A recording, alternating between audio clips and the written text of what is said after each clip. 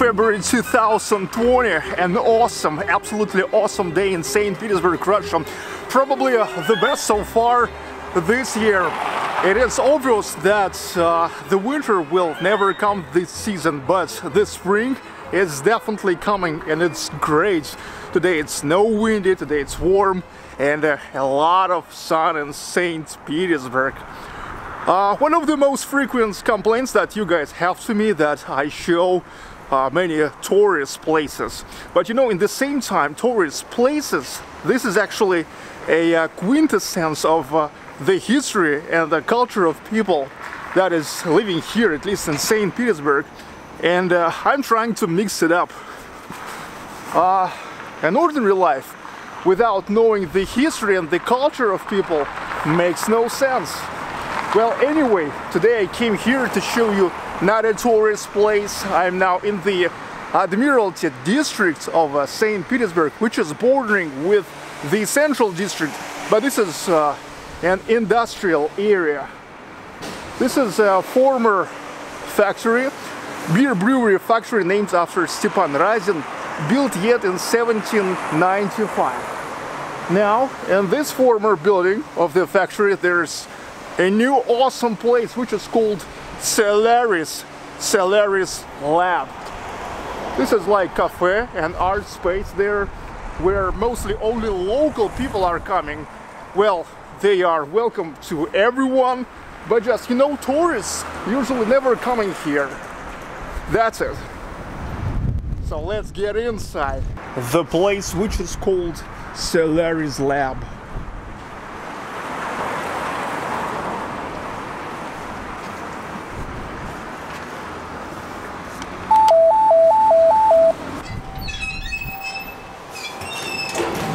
Solaris, it's Latin for sunny, for something related to the solar energy, for the energy of the sun. In Russia it is also very well known as 1972 science fiction drama. It's a movie filmed by one of the most unusual, significant and great Soviet directors Andrei Tarkovsky actually famous all over the world because his uh, style became an inspiration for so many directors all over the world, including uh, Hollywood. One of the features that was so inherent for Tarkovsky is a long one camera shots with no cuts. So now, as an homage, uh, as uh, their respect to Andrei Tarkovsky, I now feel the entrance to Solaris with one long shot. But also because it just makes sense here. This is definitely the coolest and longest entrance to anywhere I have visited before so far. First off, you get to the hallway with such a great flight of stairways. Already here you immediately get an awesome feel of the history of this place. Such an old places have a charm which newly made buildings just cannot have even if uh, they will be made to look old anyway there will be enough of things. You can tell that this is a newly made newly made buildings. Because you can't just fake an environment which was formed naturally for many many years. In this case for like 200 years. No way. Open the door at the fourth floor. Go inside Solaris Lab is not just a cafe, but it's an art space. And uh, this is the uh, gallery, the place for a gallery where from time to time, but they will organize different arts exhibits and performances. The closest exhibit begins at the 26th of uh, February and will be called the factories are not staying, like means not staying at the same place. This is gonna be a, a collection of uh, brutal and creative pictures of uh, industrial factories and uh, the factory life.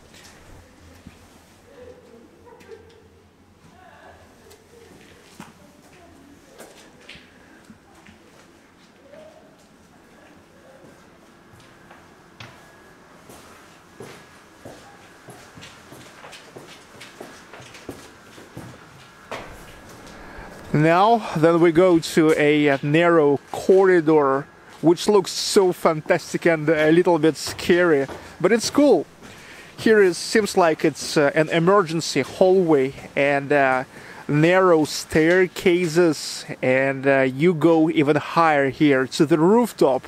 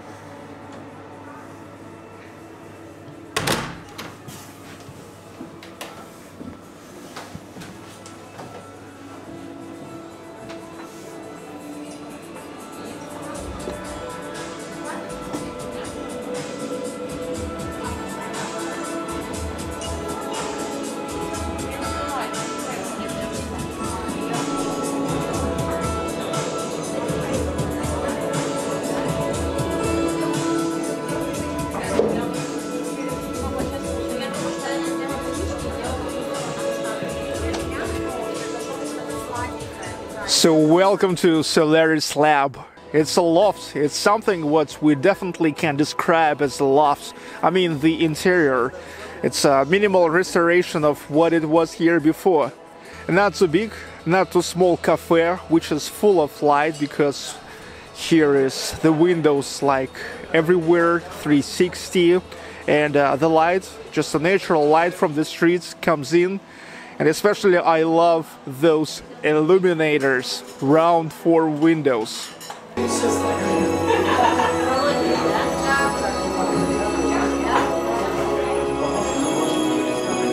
Only a quality electronic music sounds here, like an ambience and lo-fi. And uh, every weekend, every weekend nights, here goes a full-featured parties. Solaris, Solaris Lab, powered by an old school guys who follow for the best of uh, an old school traditions. That's why at the, the DJ place here is uh, you can find only a true Technics 1210 turntables. Nobody's gonna play a shitty MP3 here. Nobody and decoration you can find and elements of woods because Solaris is uh, part of wooden brotherhoods who admits the authority of nature, the power of woods, uh, the force of fire, and things like that.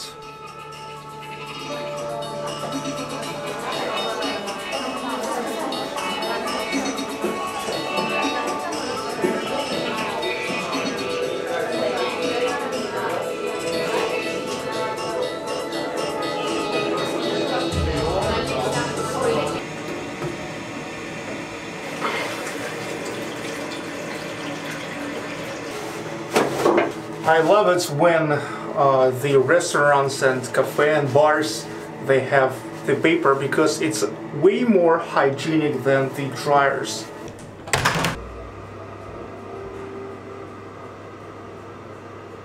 I have ordered coffee latte and mango cheesecake and I have paid 500 rubles for this which is 8 bucks 8 bucks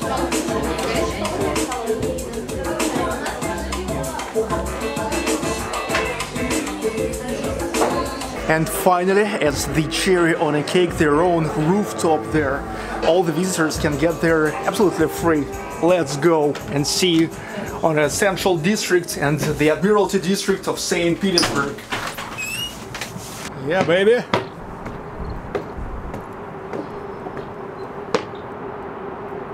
Wow.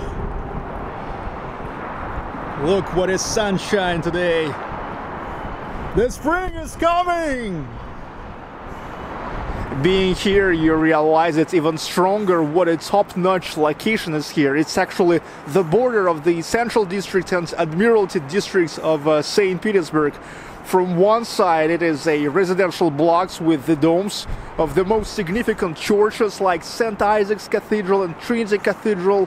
From another it's a brutal industrial uh, industrial zone. The factories and shore the uh, cargo seaports with all those cranes and panorama of uh, Neva River exactly in that place where it turns to the Gulf of Finland.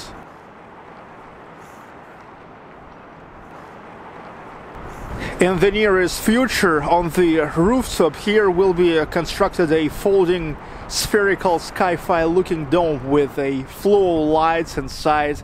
It's gonna be awesome because I can say this because I saw uh, what uh, what's that dome was in the previous Solaris Lab place. Okay dudes, hope you enjoyed one more exclusive video from St. Petersburg and uh, one more idea of where you can go when you're here in the northern capital of Russia. Uh, comment, like, subscribe, really do this if you love my channel because uh, this activity pump the positions of my channel in and search and uh, keep supporting keep supporting my channel Spectrum. See you.